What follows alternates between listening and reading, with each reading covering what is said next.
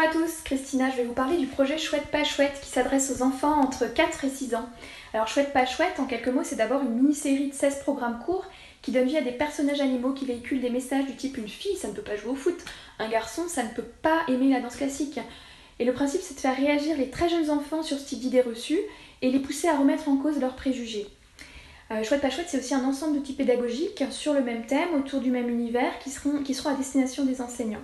Alors c'est un projet à forte visibilité attendue grâce à une diffusion à grande échelle, à la fois sur Internet, à la télévision, et qui permettra un, un impact fort pour déconstruire les stéréotypes sexistes auprès des plus jeunes à un âge où l'on peut plus facilement influer sur les comportements futurs. Moi c'est Marie et j'interviens sur le projet Chouette pas chouette depuis septembre dernier. Euh, ce projet, c'est pour moi l'occasion de faire le lien entre une cause qui me tient à cœur, les violences faites aux femmes et plus particulièrement la sensibilisation des plus jeunes euh, aux inégalités entre les sexes et mes activités professionnelles puisque je travaille euh, depuis à peu près 4 ans sur les politiques publiques liées à l'enfance. Concrètement, en fait, je suis positionnée sur le pilotage du projet, c'est-à-dire faire en sorte que le projet se déroule dans les temps et faire l'interface entre la multitude de, partenaires qui peuvent intervenir. Pour moi, c'est hyper challengeant puisque même si c'est une politique publique en général que je connais, euh, c'est une autre manière de la voir et surtout d'autres interlocuteurs et c'est toujours ultra motivant de sortir un peu de sa zone de confort.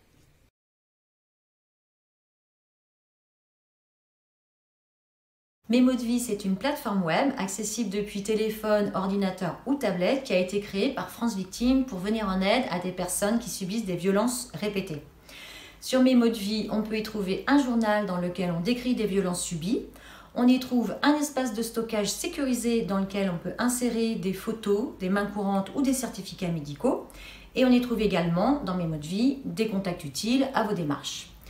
Mes mots de vie permet à des professionnels qui vous accompagnent justement dans vos démarches de retrouver la chronologie des faits et des indices qui peuvent confronter le mise en cause.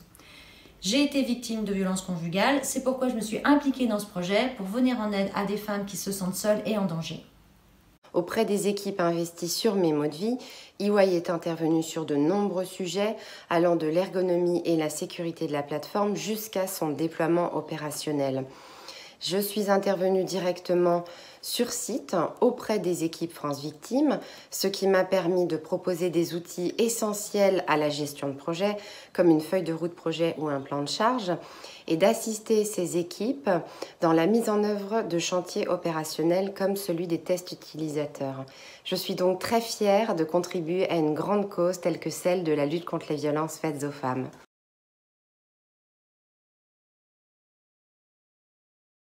Salut, je m'appelle Jean Servadio et je suis euh, consultant chez EY depuis plus d'un an.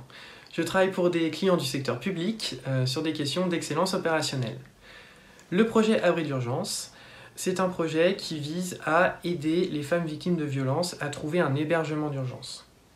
Le problème avec l'hébergement d'urgence, c'est qu'il est très souvent saturé, mais aussi euh, inadapté aux besoins spécifiques des femmes victimes de violences. Et la solution développée par Abri d'urgence, ça va être de mettre en relation les associations d'aide aux femmes victimes de violences avec un grand réseau hôtelier afin que leurs chambres vacantes puissent bénéficier euh, aux femmes victimes de violences. Bonjour, Léa Franconi, consultante en conseil en stratégie au sein d'EY Parthenon. J'ai participé au projet Abri d'urgence.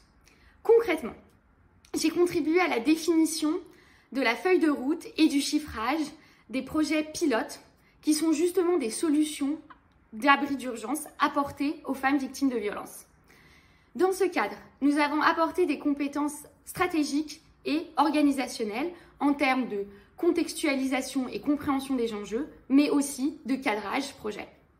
Ce projet fait vraiment sens pour moi car il fait écho à un engagement personnel pour la cause des femmes.